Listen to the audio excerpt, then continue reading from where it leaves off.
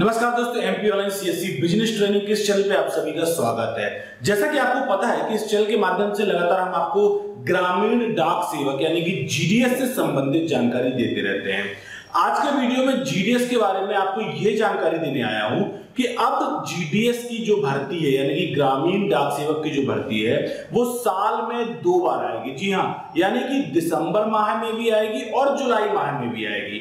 दिसंबर और जुलाई इन दोनों महीनों में जीडीएस की पोस्ट आएगी। अब आपका सवाल अधिकतर लोगों का यही होता है कि सर, ये वैकेंसी हर छह महीने में कैसे आ सकती है?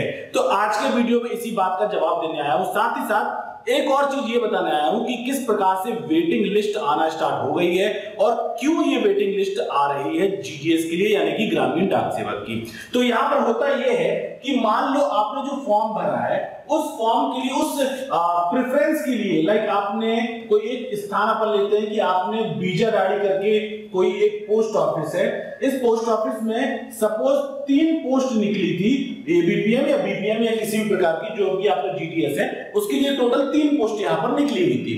लेकिन अब वहाँ के लिए जितने लोगों ने भरा है, जो लोगों ने प्रेफरेंस भरा है, उसमें से सिलेक्शन हुआ सपोज़ पाँच लोगों का वहाँ पे सिलेक्शन हो गया है। अब उन पाँच का क्या होगा? डीपी होगा, यानी कि डॉक्यूमेंट वेरिफिकेशन होगा, जिसमें से तीन लोग का सिलेक्शन कंफर्म है दो लोग वेटिंग लिस्ट के लिए उनका नाम लिस्ट में नहीं आया है और बाकी दो लोगों को बाद के लिए रखा जाएगा। अगर मान लो इन तीन में से किसी का सिलेक्शन नहीं होता है, किसी कारण से या तो उनके डॉक्यूमेंट फर्जी निकलते हैं, या इन्होंने जब फॉर्म भरा था, आवेदन किया था, तब इन्होंने डॉक्यूमेंट के समय पे सही जानकारी नहीं भरी थी, जिस कारण से डीबी में रिजेक्ट हो जाते हैं। तो बाद में जो बाकी भी दो लोग रहेंगे, उनका सिलेक्शन में उनका नाम अगली लिस्ट में आएगा वेटिंग लिस्ट में आएगा। तो यहाँ पर जो रीजन होता है अगली लिस्ट आने का या वेटिंग लिस्ट आने का या दोबारा से वैकेंसी आने का वो कारण यही होता है कि बहुत सारे लोग ये करते हैं कि मान लो उनका 47 परसेंट था।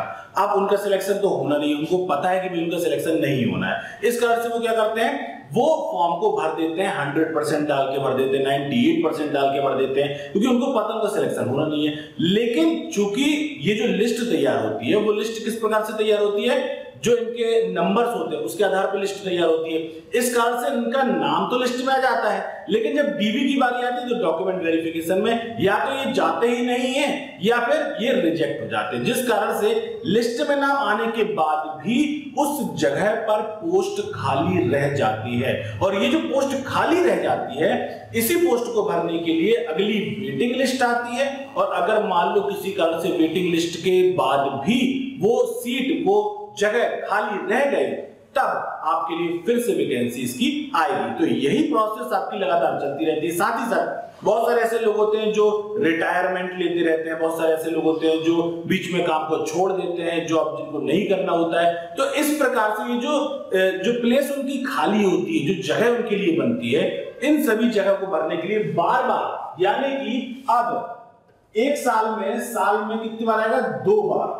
साल में दो बार यानी कि दिसंबर मंथ में भी आएगी और जुलाई मंथ में भी आएगी। तो ये दोनों मंथ में अब ये वैकेंसी जो जीडीएस की वैकेंसी वो आने वाली है। तो यदि आपने इस बार देखा 100 percent ninety percent ninety percent वालों का हुआ। कुछ ऐसे भी लोग थे जिनके कम परसेंटेज में भी सिलेक्शन हुए हैं। तो उसका कारण ये रहता है कि अगर मान लो आपने जिस प्रेफरेंस के लिए, जिस जगह के लिए आपने फॉर्म भरा है, उस जगह पर केवल वही लोगों ने फॉर्म भरे हैं जिनकी परसेंटेज कम थे तो उनकी कम परसेंटेज में सिलेक्शन हो जाएगा। तो अगर आपका परसेंटेज 40 प्लस है अगर आप पास भी हैं तो भी आप फॉर्म को ज़रूर भरिए जीडीएस का, क्योंकि जीडीएस फॉर्म भरने में कोई चार्ज लगता नहीं है। और इन केस अगर आपने कोई ऐसा प्रेफरेंस चुन लिया है, जहाँ पर और अधिक लोगों ने या अधिक परसेंटेज वाले लोगों ने फॉर्म नहीं भरा है तो आपके सिलेक्शन के चांसेस हो सकते हैं। इस कारण से आपका परसेंटेज कुछ भी हो, चाहे आप 35 परसेंट वाले ही क्यों ना हो, आप इस फॉर्म को ज़रूर भरिएगा। भविष्य में जब भी ये फॉर्म आता है, अभी तो जैसे इसकी रजिस्ट्रेशन लिंक बंद हो चुकी है, लेकिन दिसंबर तक अगर मान लो ये फॉर्म आता है फिर से तो आपके चाहे पैंतीस परसेंट हो, चाहे आपके पंचानवे परसेंट हो, आपको इस फॉर्म को ज़रूर भरना है। आपको ये नहीं सोचना है कि भाई मेरा तो पैंतीस परसेंट है, मेरा सिलेक्शन नहीं होगा।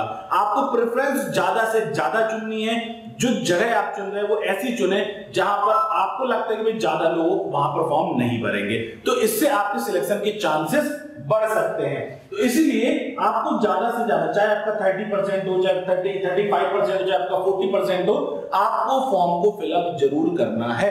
सेकंड चीज़, इस फॉर्म को भरते समय अगर आपको कंप्यूटर सर्टिफिकेट की आवश्यकता है, इसके अलावा आपको एमएस ऑफ़िस की कंप्यूटर सर्टिफिकेट की आवश्यकता है, आपको फोटोशॉप की कंप्यूटर सर्टिफिकेट की आवश्यकता है, आपको कंप्यूटर बेसिक की आवश्यकता है, आपको एडवांस कंप्यूटर सर्टिफिकेट की आवश्यकता है। हमारी संस्था है प्रयागदास तोमर कंप्यूटर एजुकेशन जो ऑनलाइन घर बैठे ही आपको कंप्यूटर सर्टिफिकेट प्रोवाइड करवाती है। इसके लिए आपको ऐप डाउनलोड करना है। ऐप की लिंक आपको वीडियो के डिस्क्रिप्शन में मिल जाएगी। वहाँ से जाएँ ऐप को डाउनलोड करें और जो भी सर्टिफिकेट आप लेना चाहते हैं, उस सर्टिफिकेट को सिलेक्ट करें और उसको ज्वाइन करें। और आपका सर्टिफिकेट जो आपको बाय मेल भी मिलेगा और उसकी हार्ड कॉपी भी आपको बाय पोस्ट घर पे भेजी जाएगी। आशा करता हूँ आज का वीडियो आपको पसंद आया होगा। मिलते हैं अगले वीडियो में ऐसी ही जानकारी के साथ।